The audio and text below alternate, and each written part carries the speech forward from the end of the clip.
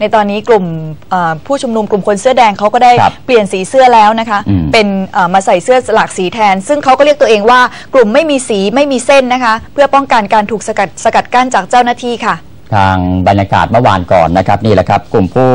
ชุมนุมคนเสื้อแดงก็เปลี่ยนมาสวมเสื้อเขาบอกลักษณะคละสีมากขึ้น หลังจากแกนนำเขาใช้ยุทธศาสตร์นะครับเปลี่ยนสีเสื้อป้องกันการสกัดกั้น การเข้ามาชุมนุมของเจ้าหน้าที่ ยุทธการนี้ก็จะเน้นปฏิบัติการชั่วขณะเท่านั้น จนกว่าผู้ชุมนุมเขาจะเดินทางมาสมทบจนครบหมดนะครับขณะที่แกนนำกลุ่มคนเสื้อแดงก็เชื่อนะคะว่า รัฐบาลจะเข้ายึดพื้นที่คืนก่อน 5 โมงเย็น วันนี้วันนี้นะครัคะบโดยเตรียมทหารไว้ทั้งหมด 214 กองร้อย ซึ่งหากทำสำเร็จกลุ่มคนเสื้อแดงก็จะไปตั้งเวทีในต่างจังหวัดทั่วประเทศ และแกนนำที่เหลืออยู่จะรอเวลาเพื่อเคลื่อนขบวนเข้ากรุงเทพมหานครอีกครั้งหนึ่งค่ะ จากข่าวดังกล่าวก็ทำให้คนเสื้อแดงนี่แหละครับส่งแนวร่วมไปตั้งด่านสกัดเพื่อป้องกันไม่ให้มีการส่งกำลังเข้ามาสมทบในกทมนะฮะ โดยเฉพาะที่บริเวณด้านหน้าของกองกษาปทุมธานี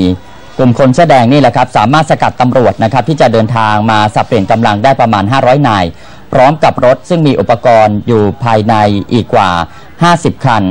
ซึ่งมีทั้งรถตู้แล้วก็รถปิกอัพแล้วก็รถบรรทุกผู้ต้องขังนะครับ เบื้องต้นเนี่ยแกนนำจะสกัดไม่ให้เจ้าหน้าที่เดินทางเข้ากทมเท่านั้น โดยจะขอยึดรถและก็อุปกรณ์ไว้เป็นประกัน 2 วัน ส่วนตำรวจทั้ง 500 นายนะครับก็เดินทางกลับบ้านได้ตั้งแต่เวลาประมาณสัก5ทุ่มเมื่อวานนี้นะฮะ ใช่ค่ะ ซึ่งอ่าในวันนี้นะคะอ่าหลังจากเวลา5้าทุ่มนะครัคะบกลุ่มคนเสื้อแดงก็จะมีการเคลื่อนไหวปฏิบัติการ ยุทธวิธีปฏิบัติการ เคลื่อนไหวกดดันรัฐบาลพร้อมกันทั่วทุกจังหวัดทั่วทุกประเทศเอ่อทั่วประเทศค่ะครับโดยไม่ได้บอกนะคะว่าจะดำเนินการแบบไหนค่ะ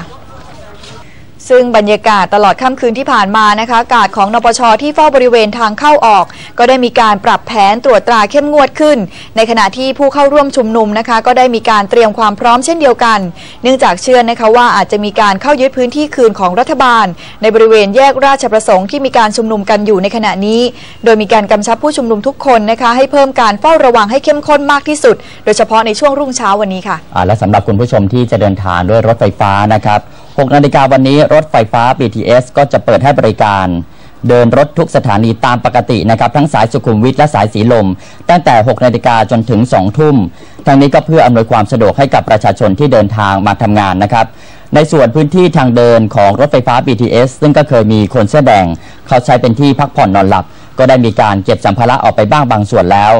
อย่างไรก็ตามนะครับทางการรถไฟหรือรถไฟฟ้า BTS เนี่ยก็จะมีการประเมินสถานการณ์วันต่อวันนะครับ เพื่อปรับเปลี่ยนสถานการณ์ให้เข้ากับการชุมนุมด้วยนะครับ